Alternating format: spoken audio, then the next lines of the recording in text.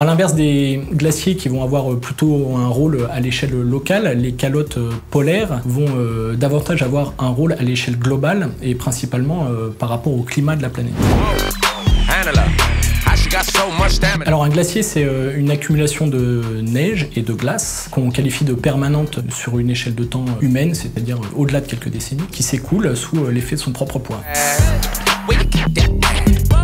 Les calottes, notamment les calottes polaires, sont euh, un cas particulier finalement de glacier, euh, dans la mesure où ils sont composés exactement de la même chose, mais où, à l'inverse euh, d'un glacier qui lui va avoir un écoulement chenalisé au sein de, la vallée dans laquelle il va s'écouler, au niveau d'une calotte, on aura un écoulement qui peut se faire dans toutes les directions.